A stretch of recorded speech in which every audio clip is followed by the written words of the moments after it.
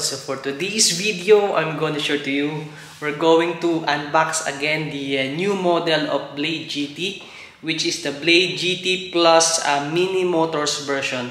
So I will show you guys. Okay, so this is the Blade GT Plus Mini Motors version. If you are new in this channel, please subscribe and hit the bell button for you to be updated for my upcoming videos. I open the box so I will show you first what's in, written in the carton. So it's mentioned here, carton size is 139 by 29 by 59 centimeter. Net weight is 35 kg and then the gross weight is 45 kg. So but before I remove in the box, so I will show you what is in the actual once you open the carton of Blade GT. So this is guys, um, it includes here first of all the manual of uh, Teverun, okay, and it includes also the tools, and then here there is a rear fender, okay, and this is the stand, CNC stand, okay, and then here so now it's include the uh, front fender or the mud guard. Okay. And here, this is the charger. Okay guys, so this is a uh, 67.2 charger. So, so this is the one 67.2 2 ampere. And now let's remove in the box. I will show you after I remove the box this uh, Blade GT Mini Motors version.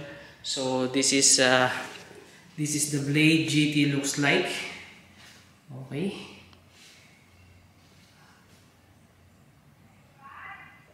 So now I will show you. I will turn on. So basically, guys, this is a key ignition type. Okay, so 64 volts, and then this is the uh, Mini Motors display. So now they upgrade into Mini Motors which is Mini Motors is a very good brand with a good quality.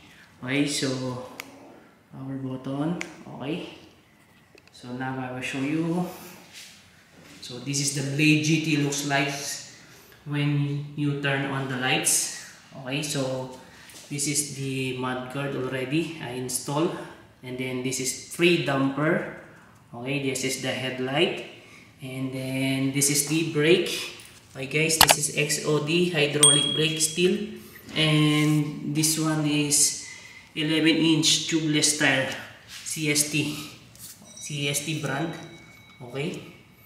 And this is the support light. Okay. And then this is the side light. And then here this is the signal light left and right turn. Okay. And hazard also then this side okay. Now I will show you. So from the deck. So this is the rubber mat. So this is removable also. So if you want to remove just remove the glue or stick glue in the frame. And also this is the sandpaper type. And I will show you guys this the motor. So this is the motor. 60 volts 1500 watts motor. And 11 inch tire okay and also the brake XOD brand hydraulic. Okay. So now let's proceed with the stem. So this is the stems looks like. This is foldable also. Okay so this is adjustable stem also. So if you want to adjust okay. This, this is the uh, signal light okay? So this is the headlight. Okay so once you press the headlight it will turn on the it will turn on the headlight and then this is side light and then the support light. And also here there is a line red line here. Okay both sides.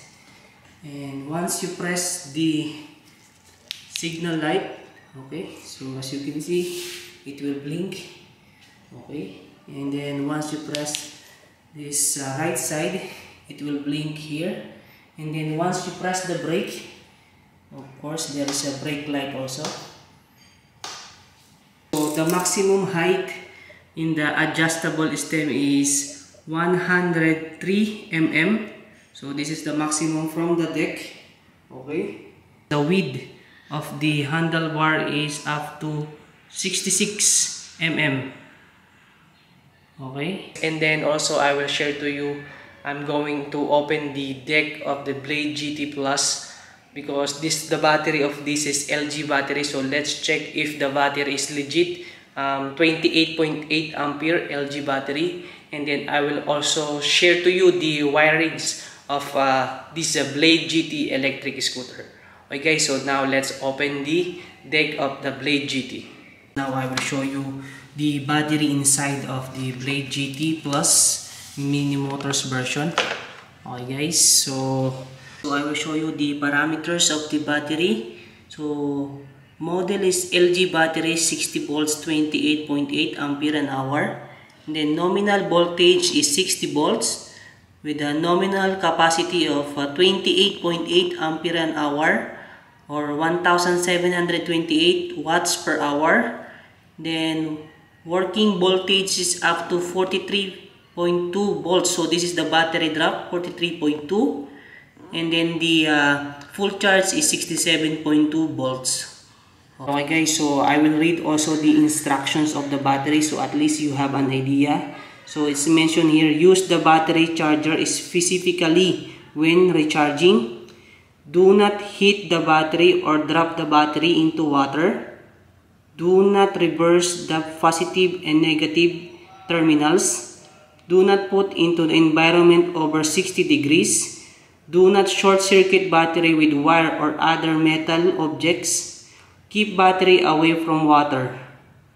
So the battery is legit uh, 28.8 ampere LG battery. So now we will measure the size of the battery so at least you have an idea once you check your electric scooter if your electric scooter is a LG battery or Chinese battery uh, 23.4 ampere. So, so I will show you the size the length and the width of the battery of LG battery.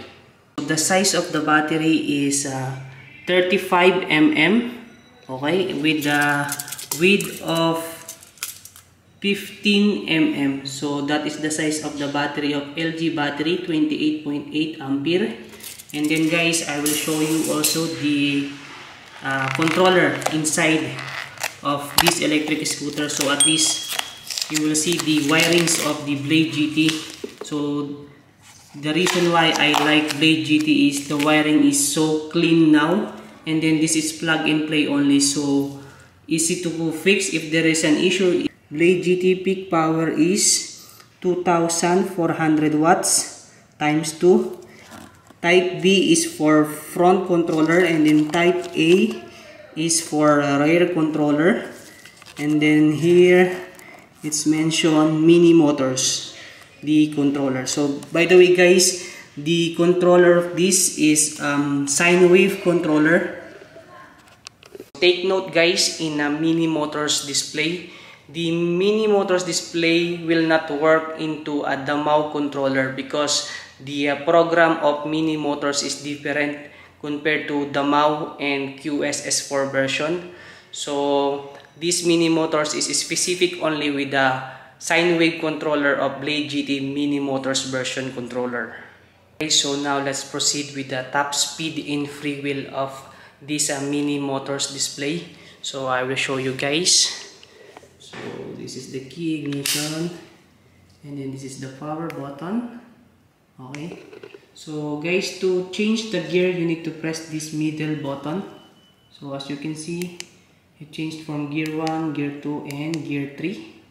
Okay, so now let's test the top speed in freewheel guys. The uh, Mini Motors LG battery, 28.8 ampere. Okay guys.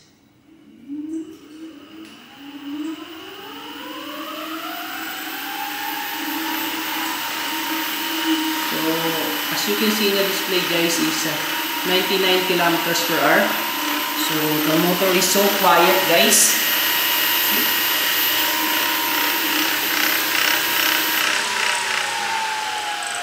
So very nice.